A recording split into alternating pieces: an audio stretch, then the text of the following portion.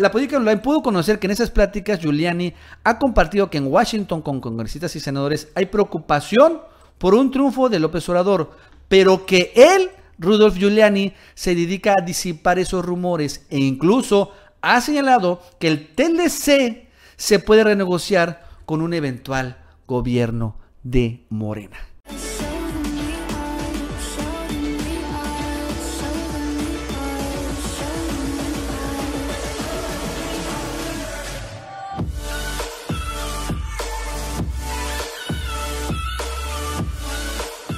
Si te gusta este video, suscríbete y dale click en la campanita para que cuando suba otro video, de inmediato te lleguen las notificaciones. Hola amigos y amigas, ¿cómo están? Soy Nacho Rodríguez en otra edición más de El Chapucero Televisión. Pues entre todo, Obrador no solo es hábil, sino también tiene suerte. Y eso es importante, porque también un ganador, un futuro presidente, tiene que tener buena estrella. Y esto lo digo no por lo que está pasando aquí precisamente en México, sino porque lo que está pasando en otras partes del mundo, en particular en Estados Unidos. Porque lo aprueben o no, estén de acuerdo o no, lo cierto es que mucho, mucho, mucho de lo que pasa en México tiene que ver con lo que pasa en Estados Unidos. Y sí, ciertamente, si Obrador no tiene el visto bueno de la Casa Blanca de Donald Trump, lo cierto es que su victoria se complicaría muchísimo. En ese sentido, Obrador ha sido muy hábil desde que Donald Trump era candidato presidencial y no tenía realmente en ese momento probabilidad de ganar. Aún así siempre se cuidó mucho Andrés Manuel López Obrador de atacar a Donald Trump. Le preguntaban de Donald Trump y él decía, es que yo no me quiero meter en asuntos de otro país, que ellos resuelvan sus propios problemas internos como lo quieran resolver. Este principio de no intervención no se quiere meter en Honduras, y menos con Estados Unidos, y menos con la probabilidad en ese momento de que Donald Trump fuera el presidente. Debo recordar que otros candidatos presidenciales, por ejemplo, Margarita Zavala, precandidata, se metió muy duro contra Donald Trump e incluso ella apoyó abiertamente a Hillary Clinton. Y también otro candidato, precandidato presidencial, que abiertamente también criticó tremendamente a Donald Trump, fue Miguel Ángel Mancera. ¿Dónde está Margarita Zavala? ¿Y dónde está Miguel Ángel Mancera? Pues no son candidatos presidenciales. Estados Unidos y Trump los vetaron. Ellos se pelearon con Donald Trump, ellos hicieron campaña contra él y al final, pues el destino les alcanzó regresando al tema principal, López Obrador no, no se la jugó con Donald Trump, pero tampoco se peleó con él y ha procurado no pelearse con él. Y si bien ha sido duro y claro en el sentido de que él, claro que va a proteger a los mexicanos, no se ha peleado de manera personal con Donald Trump, honestamente. ¿No? Lo que ha dicho Donald Trump es que el Obrador va a convencer a, Donald Trump de que lo mejor para México y Estados Unidos no es construir un muro, es que hayan planes de desarrollo conjuntos. Eso es lo que ha dicho y repetido en torno al tema de Estados Unidos. No quiere hacer campaña con Trump, en pocas palabras. Contrario, ojo, a lo que dicen los medios y la prensa en Estados Unidos. Porque ellos, obviamente también muy manipulados por lo que pasa aquí en México y obviamente por los voceros oficiales, Dice la media y la prensa que López Obrador está capitalizando el sentimiento antiamericano que hay entre millones de mexicanos para impulsar su candidatura. Y eso es una gran falsedad o cuando menos distorsión de la realidad. Porque la preferencia a favor de López Obrador no deviene de un sentimiento de odio hacia Donald Trump. La verdad es que no pero los medios y la prensa norteamericana sí insisten en esto. Siempre que leo artículos internacionales en otras revistas norteamericanas o inglesas, siempre dicen esto, que López Obrador va a ganar por el gran sentimiento y odio contra Donald Trump. Pero no, no, no van por ahí las cosas, honestamente. Repito, de todos modos, los triunfadores no solo hacen las cosas, sino también tienen buena estrella. Y Obrador ya también está empezando a tener buena estrella allí en la Casa Blanca. Porque ante el ocaso de Luis Videgaray, que eventualmente va a salir obviamente del gobierno y finalmente se va a romper esta relación que tiene con el yerno Jared Kushner, que realmente es muy cercana, ha surgido un nuevo personaje muy cercano a Donald Trump en los últimos días y que precisamente es muy amigo de López Obrador y de un colaborador muy cercano suyo, Marcelo Ebrard. Y es este personaje que vino a México, Rudolf Giuliani que se hizo muy famoso a nivel mundial porque él fue el alcalde de Nueva York en el momento de los atentados en las Torres Gemelas. Y fue Rudolf Giuliani que, pues entre todo, impregnó de gran ánimo a los neoyorquinos para salir adelante. Y después dejó de ser alcalde de Nueva York, volvió a resurgir porque él, él fue de los primeros que se la jugó con Donald Trump. Y ganó. Solo que ahorita no está en el gobierno de, Estados Unidos porque la apuesta de Rudolph Giuliani había sido ser el secretario de Estado. Y más, yo creo que todavía sigue siendo su apuesta. Y si no, y creo que la apuesta actual es que sea el ministro, un nuevo ministro de la Suprema Corte de Justicia de aquel país, uno de los cargos más, más, más importantes, incluso más importante creo que hasta presidente. Entonces, por eso no entró al gabinete. Y bueno, Trump con sus locuras pues está en una grave crisis legal actual. Bueno, cuando no está.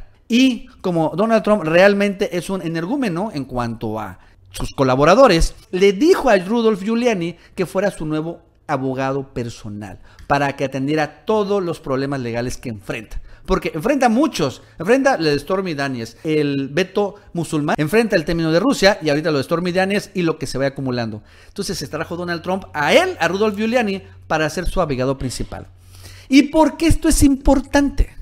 ¿Por qué es relevante para López Obrador? Porque Rudolf Giuliani, acuérdense, fue asesor de López Obrador en materia de seguridad, cuando él era jefe de gobierno.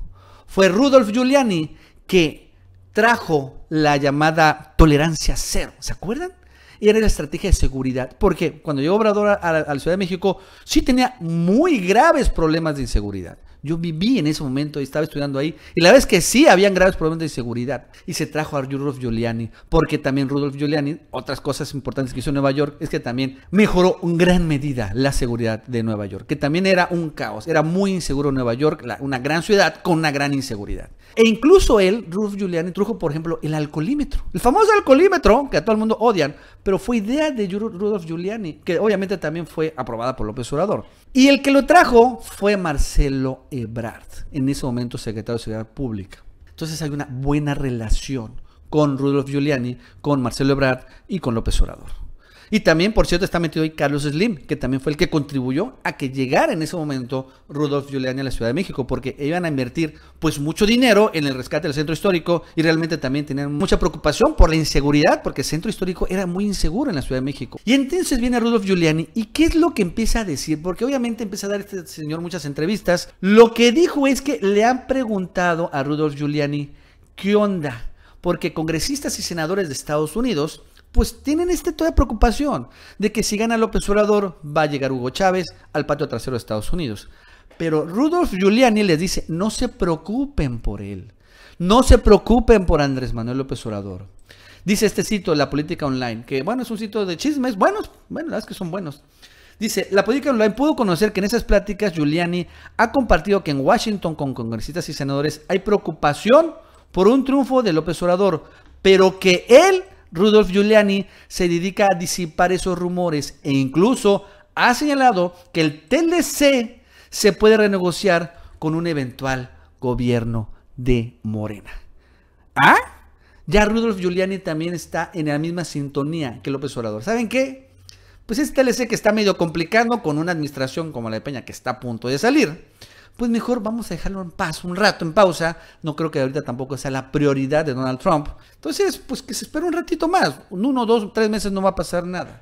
Dice, en diversas reuniones Giuliani habría resaltado diversos hitos de la gestión de López Obrador en la Ciudad de México. Ojo, para dar a entender a sus interlocutores que el tabasqueño no tiene perfil chavista y que fue un administrador pragmático. ¿Cómo la ven?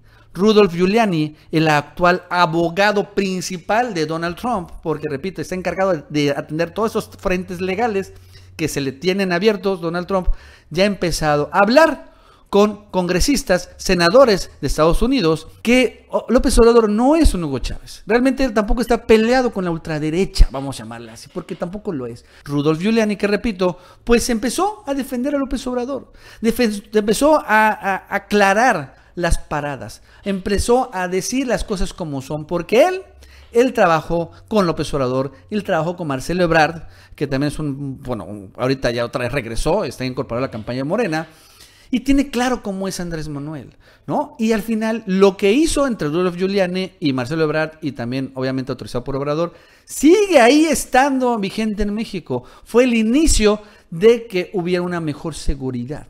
Ya ahorita con Mancera se ha descompuesto un poco, pero aunque no crean, no se ha descompuesto tanto como antes de que llegara Obrador. Pues Obrador tiene aliados ahora ya.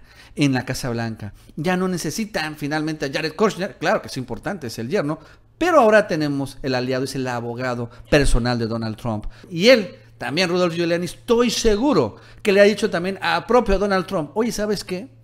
En México, este señor que dicen que es Hugo Chávez, no lo es. Este señor que dicen que es un Nicolás Maduro, no lo es.